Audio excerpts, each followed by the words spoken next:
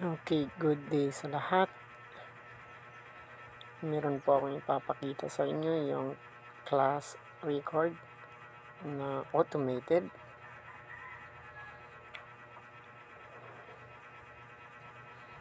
using only our phone. So, uh, pero itong ginawa kong ito ay under construction pa to. So, hindi pa ito tapos. So, meron tayo ditong navigation na per subject kung gusto natin mag-enter ng grade. Like for example, if we want to enter the grade sa subject na Filipino, so for PE, so it will navigate to the subject which is PE. So, at the moment, for this moment, yung nagawa ko pa lang ay yung nasa science na subject. So, ito yon So, fully automated po ito. At the same time, we can type it manually sa aton na class record. So, like for example, if dito lang po tayo mag enter ng ating class record. I mean ng grade para sa class record natin no, for every subject. We have math, we have English so etc so now focus muna tayo dito sa nagawa ko na which is science pa lang. So meron tayo ditong rank grade at initial grade. So yung rank ay halimbawa kung mayroon po kayong estudyante na parehas yung magkatulad yung grado, halimbawa parehas silang 80, so you can rank it kung sinong mauna sa kanila, nasa rank 1, rank 2, rank 3. Like for example, kung gagawin ko tong 80, yan, tatlo sila kunwari, so kung napapansin nyo po ay parehas yung grade nila which is 80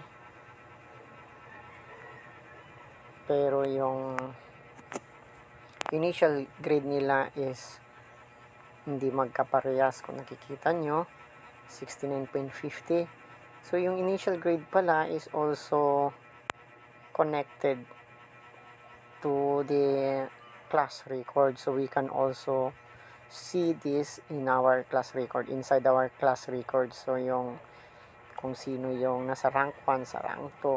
So, like for example, if we rank it the same, so magkakatulad yung magiging um, magiging initial grade. So, kung makikita nyo dito sa class record, ayan, yan. So, yung initial grade nila, the same sa tatlo sa kanila, 69.50, 69.50. So, automated din po na pupunta dito yung distribution ng uh, written works nila at saka performance task nila. So, automated na po lahat yan. So, you don't need to think or decide kung ano yung mga record nila. Pero, I suggest na pwede rin nyo pong gawin yung manual. So, pwede nyo pong palitan yung grade nila, yung record talaga nila dito. But sometimes, yung record nila ay hindi, um, halimbawa, may mga bata na maraming absent, hindi nakaka uh, perform, hindi nakakakuha ng written works at saka performance tasks. So, kaya hindi man pwede some, minsan din pero palaging present pero lagi namang zero. No, kasi meron naman din natin maiwasan na may batang ganyan. So, kung napapansin nyo ulit, yung initial grade is 6950. So, parehas silang tatlo. Pero pag pumalik tayo doon, at palitan nyo natin yung rank, halimbawa, isa rank 2, yung isa uh, yung isa na sa rank 3 so kung napapansin nyo magkakaiba na ang kanilang initial grade. Ayan. 69.50 69.30 so balikan natin yung class record. Parehas nga silang grade pero magkaiba naman yung kanilang class.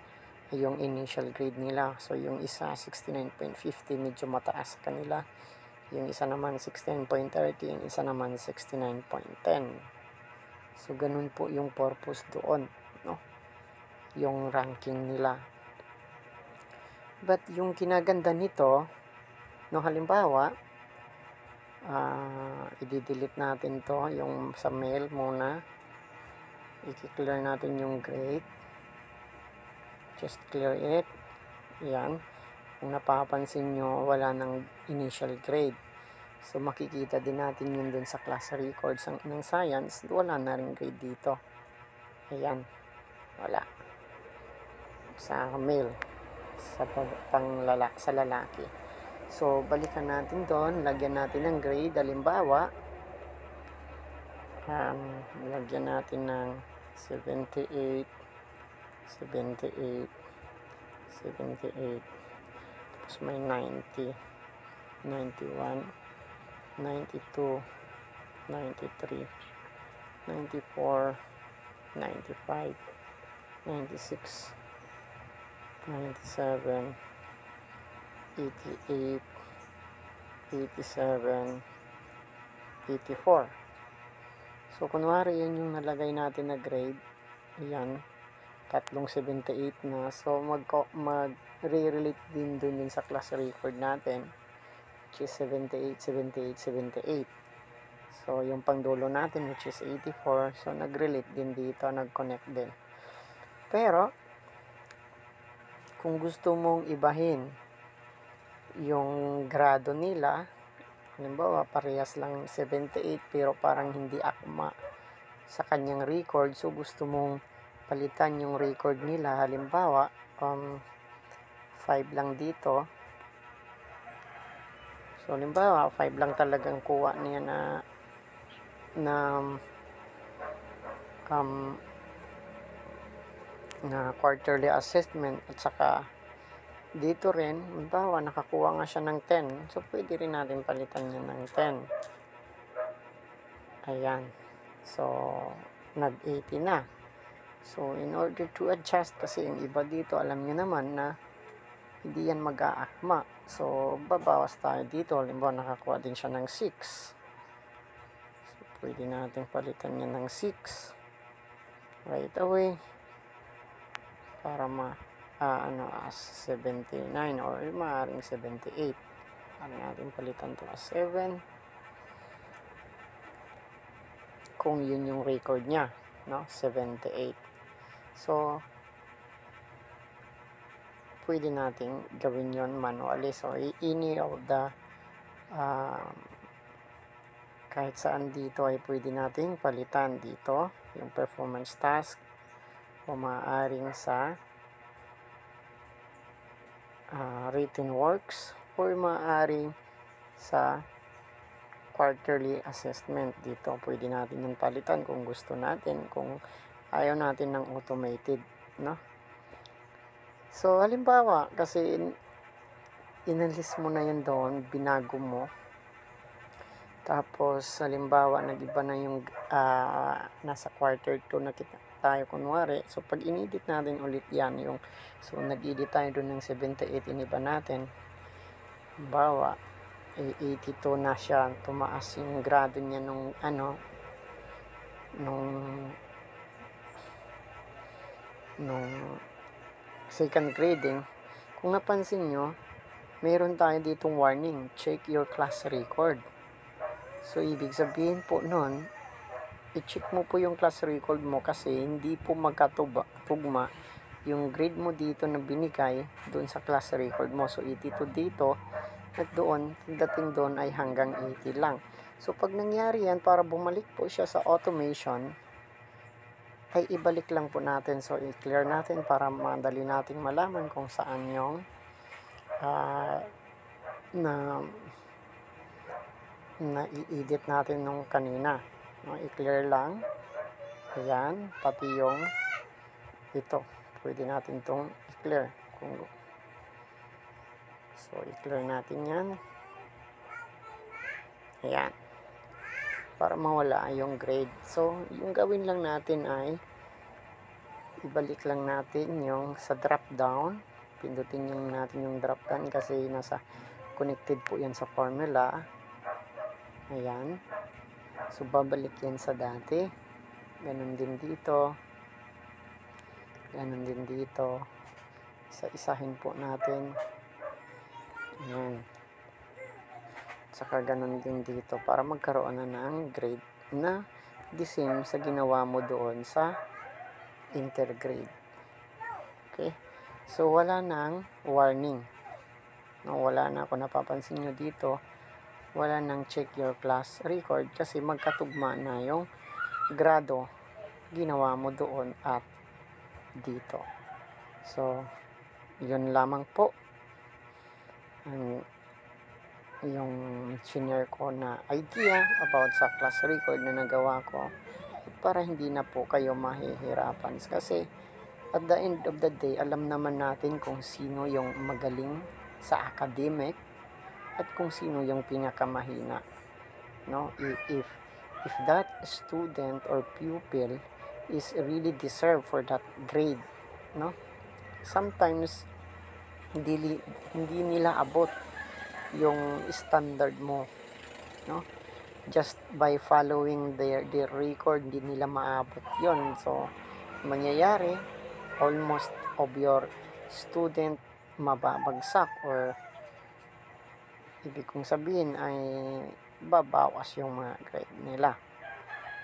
So so by this system by this program so you can uh, put your grade just put your grade here. Just type your grade here and then it will also connected to your class record and you have an automated class record and without uh, thinking their uh, written works performance task and their quarterly assessment but anyway if you want to follow their record, we, you can also type it manually as I said earlier. Pwede nyo palitan yan kung gusto ninyo. No? Pero, kasi, meron kasing mga uh, pabagsak ng mga estudyante. Babag, at babagsak talaga sila pag sinunod yung yung iba dyan, pag sinunod yung record at iilan lang talaga ang makakapasa. So, at yun yung and that is the reality but sabi na nga mayroon na tayong written works and performance task so yun yung yung kinagandahan doon kahit na medyo maliit lang o konti or mababa lang nakuha nila sa quarterly assessment at lagi naman sila nagpa-participate so makakapasa pa din yung mga bata na nandyan lagi sa inyong paaralan. So, yun lamang po. At under construction pa po ito. And then, mag-a-update pa ako tungkol dito sa grading sa grading or class record na ginawa ko. Kasi, ma, pinaplano ko po ay nandyan na lahat ng subject na pag inintrihan mo ng grade dito, lambawa na sa mother tongue, yan, or Filipino man, yan, or English, so, pag nag-enter lang tayo math, pag nag-enter lang tayo dyan, science, ay automatic magbibigay siya ng grade doon sa class record. At the same time, yung grading sheet. Bibigyan ka na rin ng grading sheet nito kasi uh, gagawin ko ito na automated na magbibigay siya dito ng grading sheet mo dito sa um, at magpiprint ka na lang ng grading sheet. No? So, all of that is connected. So, yun ay gagawin ko pa lang. So, for more update, just uh, subscribe to my channel and para ma-notify ma po kayo just hit the bell notification at ma-update po kayo kung ano na ang magiging result nito so Again, this is for Android phone only, so you can use this your to your Android phone. So, once again, this is the Lazy Inventor signing off. Hanggang sa muli. Bye-bye.